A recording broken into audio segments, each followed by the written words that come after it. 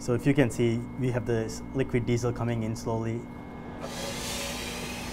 The idea of converting plastic into something useful, uh, that's really the, the thing that excites us. So Upcycling Plus is our vision to convert non-recyclable plastics into value-added products. Once we figured out the science behind it, we realized that, hey, like maybe we can take this stuff and actually turn it into things that are useful. So that's how Upcycling Plus was born. Currently, we are able to convert plastic waste into transportation fuel, uh, things such as chemicals that can be turned back into plastics. So we take uh, lots of different kinds of plastic. Uh, so for example, uh, plastic bags uh, or hard items, and we convert it um, just to a densified form, like pellets.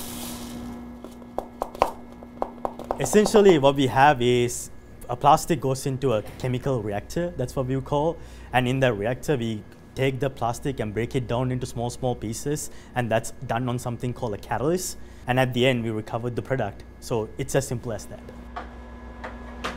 We'll drain a liquid directly from the reactor. So this is the diesel we make.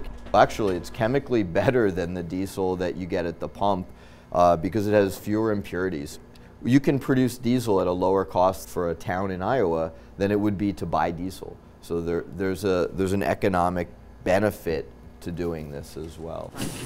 So that's the beauty of our process. Uh, we can essentially process any non-recyclable plastic waste as well as recyclable plastic waste. Uh, and we can do it in mixed uh, quantities. So you don't have to sort it out for each individual uh, material. You can combine all of them together and run it and get a singular product at the end. So we think that would help mitigate this crisis at the generation side itself instead of, you know, going to a landfill and then transporting it to somewhere else.